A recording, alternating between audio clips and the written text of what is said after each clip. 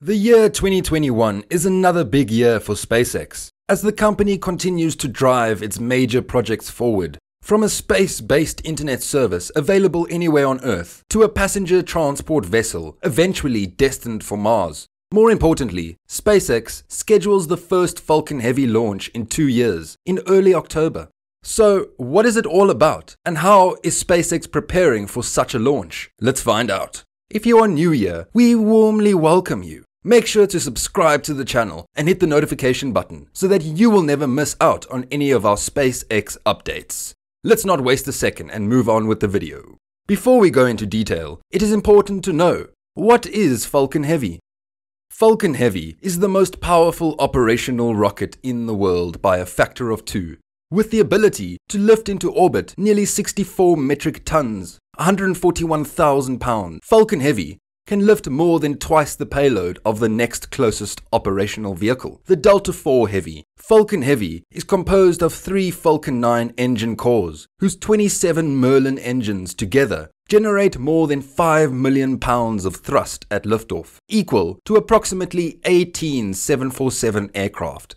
With more than 5 million pounds of thrust at liftoff, Falcon Heavy is the most capable rocket flying. By comparison, the liftoff thrust of the Falcon Heavy equals approximately 18 747 aircraft at full power. Falcon Heavy can lift the equivalent of a fully loaded 737 jetliner, complete with passengers, luggage, and fuel, to orbit.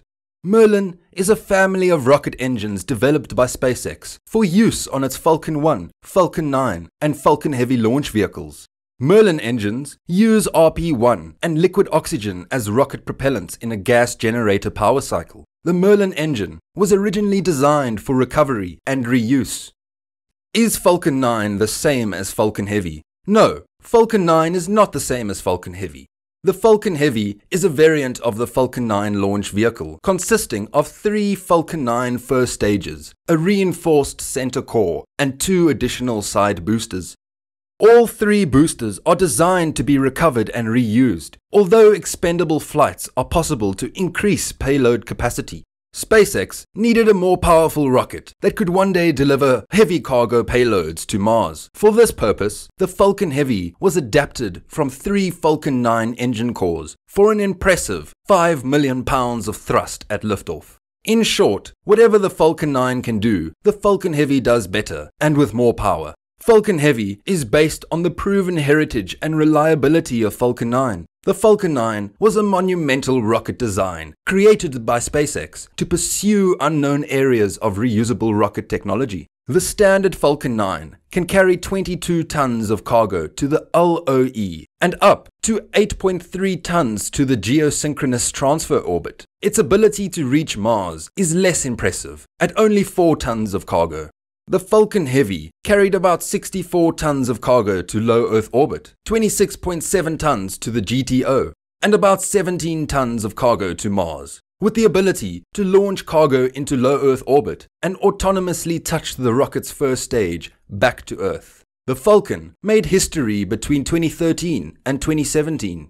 Now, SpaceX confirms the first Falcon Heavy launch in two years in early October.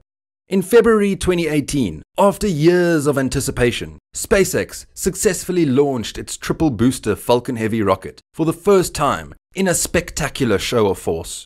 Though the center core booster got a little melty on its extreme high speed re entry and was lost before it could attempt to land, the rocket's twin side boosters performed an iconic near simultaneous landing just a handful of miles away from where they lifted off. Then, Falcon Heavy took a good, long break. In April 2019, after a few minor delays, that Falcon Heavy Block 5 rocket completed its launch debut and first mission for a paying customer. This time around, all three boosters, two by land and one by sea, survived re entry and performed flawless landings on a drone ship and two landing zones. A mere two months later, both of Falcon Heavy Block 5's first two recovered side boosters flew again in support of the US Air Force's STP 2 mission, a combined demonstration flight and rideshare mostly designed to push the rocket to its limits and help the military qualify it for high value payloads. Once more, those side boosters successfully returned for a simultaneous landing at SpaceX's landing zones. But the mission's Block 5 Center's core re-entry was, as SpaceX itself partially expected, too hot, burning essential components and resulting in a hard landing in the Atlantic Ocean. Otherwise, the mission was a spectacular success and gave the US military practically all the data it needed to qualify the world's largest operational rocket to launch its payloads. Shockingly, however, that June 2019 launch would end up being Falcon Heavy's third and latest. In the almost 26 months since the rocket hasn't flown once, originally scheduled to launch a fourth time as early as Q4 2020, known as USSF 44 and USSF 52, formerly AFSPC 44 and 52, both missions are scheduled to launch ethereal US military spy or communications satellites. USSF 44 is arguably the most important, as it will mark SpaceX's first direct launch to geostationary orbit, or any other customer, let alone one as exacting as the US military. USSF 52 is a much simpler and more traditional launch to an elliptical geostationary transfer orbit. About a year ago, for unknown reasons, the two missions swapped positions, with USSF 44 taking the lead. Expected to launch in June 2021, as of earlier this year, Spaceflight Now first reported that USSF 44 had slipped further, still, to October and USSF 52 into 2022, this May. Since then, that's where the mission schedule has tentatively lain.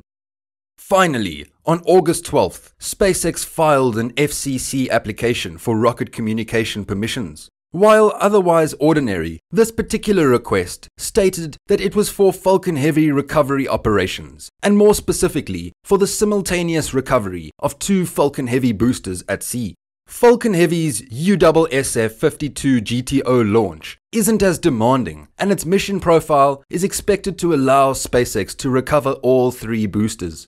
As such, an FCC filing for a dual drone ship Falcon Heavy side booster recoveries practically guarantees that it's just for USSF 44. Per the application, SpaceX expects the mission to occur no earlier than September 25th, almost simultaneously Launch photographer Ben Cooper also updated a long running list of upcoming East Coast launches, confirming that Falcon Heavy's fourth launch, USSF 44, remains on track for October 2021. Ultimately, while delays are possible and likely probable, there now appears to be a strong chance that Falcon Heavy will launch for the first time in 28 months, before the end of 2021. SpaceX's first Falcon Heavy launch in two years is finally coming together. And that's all for today guys. I hope you enjoyed the video. If you want to be updated with videos just like this one, make sure to subscribe to the channel and hit the notification button. Thank you so much for watching and I hope to see you next time.